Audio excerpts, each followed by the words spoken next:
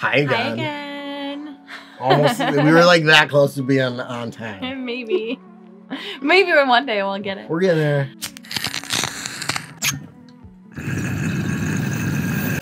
Do You guys, today we're going to talk about not wasting your money as a new grower. But first, I'm going to say thank you for liking this video. Thank you guys. and subscribing and hitting that notification button just so you know that when we drop a new vid, we you guys are New vids live. It's always a party whenever a new vid drops. We have a premiere, and the whole community is, is awesome. The Highigan fam, we love you guys. Thanks for showing up for the new videos. So make sure you guys follow along. so please hit that like button. It really does help the channel. Heck yeah. Today we're going to be talking about what I wished I would have known to not waste my money on as a new grower and what to maybe invest my money more wisely in. Yeah, because we Um, definitely got a lot of stuff in the beginning.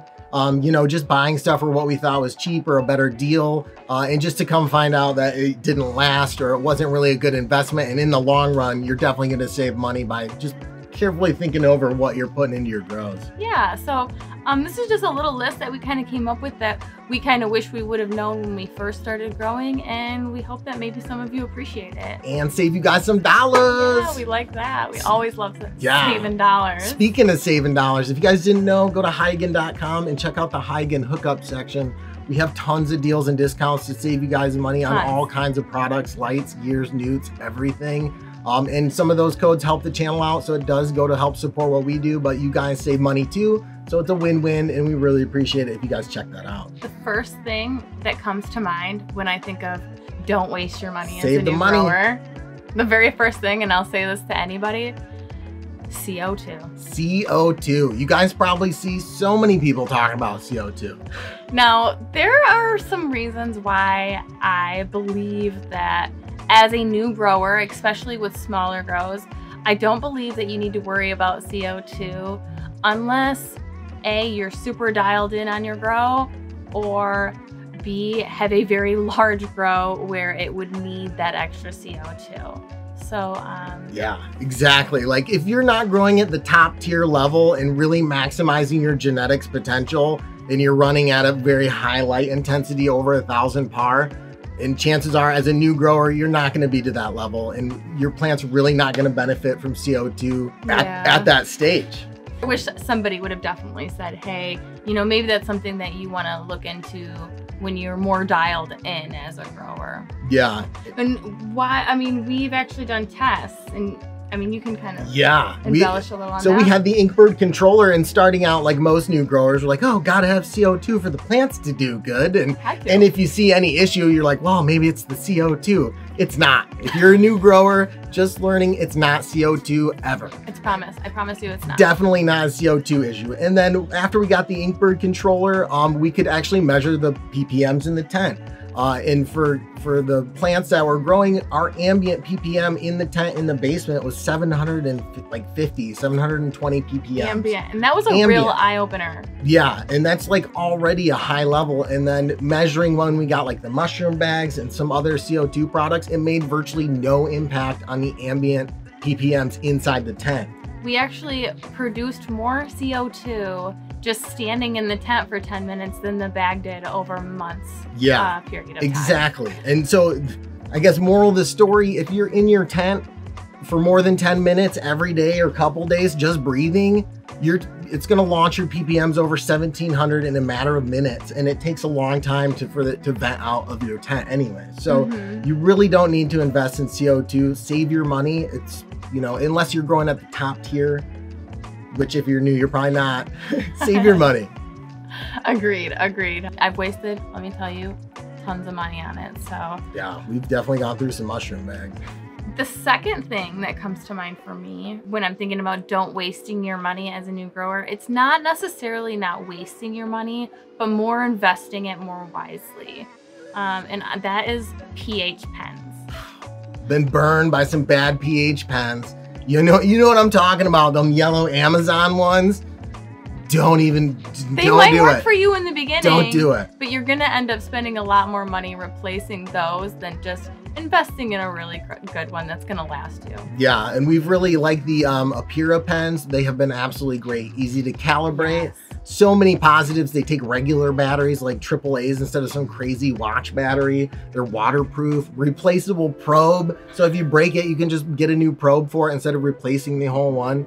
Like it's worth it to get a better one in the beginning. That's gonna save you money in the long run. Cause we went through, I, I can't even tell you how many like cheapo ones off Amazon that were just like, oh, we're saving some Mhm. some bucks on this ten dollar one, and then have it. And you also cannot calibrate a lot of those. yeah, or. I just don't trust the calibrations. Like I would calibrate that yellow one, and that thing was all over the place. It really was. Screw. I had some grows screwed up from it from just being wildly off and saying it was on. Like, save yourself And- and, your grow, especially since you're investing into your grow. Yes, and as a new grower, um, understanding how pH is affecting your grow is very important. I use my pH pen every time. Every time I give my uh, my plants water, and now that I have a great uh, great one that also does soil, uh, that's something I measure as well. I wouldn't trust that with something that wasn't reliable. Definitely, guys, the Apera pens, if you're interested, we have a discount code, saves you 20%. Check out Highigan.com, save you some money, but they're definitely worth it. Investing in a, in a more quality one that's going to stay calibrated. You can easily get batteries for. It's waterproof and has a replaceable probe. It's, it's going to pay off in the long run, and it really is a vital part of your grow um, because having your pH being way off or wildly off can drastically affect your plants. You know, really not any style of grow from hydro to soil. Mhm. Like pH can be pretty important. Oh, she's making it. Audie is like, I'm part of this vid now. Making an exit. While we're on the topic of putting your money to better use when you're a new grower, what what else do you think that they should That- waste their money This on? is this is from hands-on experience exhaust fans. Don't even waste. I'm not just saying this because they're a channel sponsor, but AC Infinity, the definitive exhaust fan for home growers intents. I feel like AC Infinity, they're just the best. They're the quietest. They have the best performance and the best features. Honestly, their new ones are awesome. App control, tracking, VPD readouts. completely changed the game for my Yeah. for my grow space. Um, and I wish I would have been introduced to this way sooner than I actually was. So Yeah. um, as a new grower, I would have loved to have the information. Yeah, because we've definitely had um, fans. You know, you can get the cheap ones on Amazon, and really, you, you get those, and they're really loud. They usually don't have any kind of ramping control on them, so it's just set it, and it's at a single speed all the time. Mm-hmm. The nice thing about the ACs is you can set the set points in the app, and it will ramp between your parameters based on you know your humidity or your temperature in the tent or or both. Yeah. Like there's a lot you can do with them, and they're really not that much more than just like the cheapo fans. So like, it's not even worth buying those cheapo fans, having them, you know, the motor burn out in a year, and you're buying another one anyways. You know, the AC is a little bit more, but ask anybody in the community; they It are will. they are proven. Yeah, We- they will last you, and um, they're just qual. It's quality, and you're not gonna have to continue to spend money on getting new things because this one they they will last. Yeah, they're definitely a great brand, but there's other ones out there too. So if you guys know another great brand, definitely comment below. Let us know. Oh Uh, yeah. we do have a discount code for AC Infinity. Works on their website or Amazon. Uh, use code Highigan, save yourself 15%. You know, all the AC Infinity's products, and they have some great ones out there, guys. So definitely look into the exhaust fans. That's one, Yeah. that's a money saver. And and they're quieter. That's what I love the best because I'm buying it constantly. So not having it be as loud or Well, I've tried other exhausts, uh, and like he said, from experience, um, having a quality exhaust system, and it doesn't have to be AC Infinity. You may have another quality exhaust system. Um, the point is, don't skimp on that. That's something that I think is very important in your environment. Lights is a big cost savings, and there's a lot of factors I feel like to think about. And we kind of touched on this in one of our other videos about kind of choosing the best light style for your grow. You know, there is a balance of saving money and then making sure you get a light that's going to work for your grow area and get you good coverage. Mhm. And then, you know, do you want full coverage for the whole area or do you want to be able to have zones where you could have a higher output for maybe a plant and flower and a lower output for maybe seedlings and veg? Do you want a multi-light setup? So you could definitely save a lot of money looking at the different options and thinking about how you want to grow. It's definitely something that you don't want to skimp on because for me, it's part of the environment, and your environment is the most important part about where your where your grow is. So the light is one of the biggest parts of your environment. So um, I would do your research and make sure you're getting the best one for your grow instead of just getting the first one um, that you can get your hands on. In Yeah. my opinion. Definitely. We've seen great results of Viparspectra that we've been purchasing and then running um, pretty much since the beginning of the channel. We've had some of their lights in the tents, you know, great quality. There's a lot of manufacturers out there. So make sure to kind of do your homework, take the look at the performance of the lights, the area you're trying to light. You know, you'll find something that's probably going to fit your budget. And usually the cheaper it is, you know, the cheaper the quality, the performance will might be lacking. But, you know, the brands are pretty good all around these days. The last thing that really comes to mind, things to don't waste your money. Save the money. I honestly, I was resistant to this one myself. So, um, and actually, you guys have probably seen, but I started reusing my soil.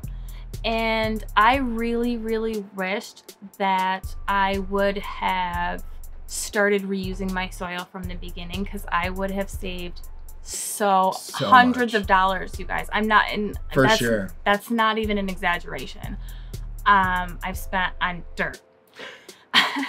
so that is just something that I wish that somebody would have, you know, and you know what? Somebody did tell me, tons of people told me to do that Yeah. in the beginning. And I was so resistant. And I, it's probably one of my biggest regrets to not do as a new grower. Yeah. I think I mean I think it's great, especially for somebody new. Purchasing soil isn't as bad because it's pre-amended and it's usually within some kind of tolerance that's reasonable for starting your plants.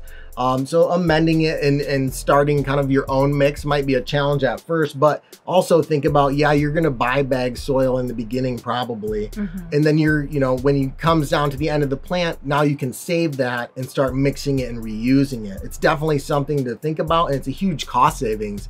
Obviously, you know, you're not buying soil, soil Yeah. every grow. You're not having to get rid of soil every single grow, or where do you dispose of it? Yeah, Um, it um it actually took out a lot of different um variables for me. So um just something to think about as a new grower and uh Definitely beneficial too. yes in the yes. long run. So Learn how to make your own soil, then then you're in control, and it's cheaper. And if you guys uh, are interested in maybe knowing how to reamend your soil, we do have a vid and I have tons of comments on there. Um so much knowledge. so much knowledge, you guys. Check it out. Yeah, we're definitely gonna do some follow-ups too on what we've found out so far on reusing our soil and how it's been going. So definitely stay tuned, guys. Tons of content. Yes, and thanks again for hitting that like button. Yeah, thanks so much, guys. Make sure to smash that like and hit the subscribe button. You can check us out on Instagram at Highigan for all kinds of behind the scenes photos and reels. Check out our Discord where you can share pictures of your grows, talk with other people in the Highigan fam, and have all kinds of fun. But thanks for watching, guys. We'll see you in the next one.